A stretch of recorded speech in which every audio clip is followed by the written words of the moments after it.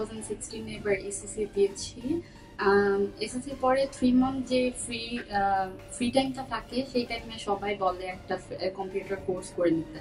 তো ফেসবুকে আমি পিপল অ্যান্ড টেক এর পেজ সম্পর্কে জানতে পারি। তারপর এখানে আসি, এখানে এসে দেখলাম ফ্রিতে তারা অনেক কিছু দেয়।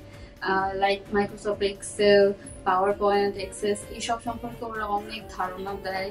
অনেক বেসিক বেসিক বলে, ওরা বেসিক বলে অনেক মানে বেশি ক্লাস শেখায় এখানকার টিচাররা অনেক হেল্পফুল এখানকার এনভায়রনমেন্ট অনেক ভালো, এখানকার স্টাফরাও আপুরাও অনেক ভালো দে আর সো হেল্পফুল তার, আমি আমার ফ্রেন্ডদেরকেও সাজেস্ট করব এখানে এসে, ইয়া ফ্রিতে মানে বেসিক কোর্সটা করে যেতে।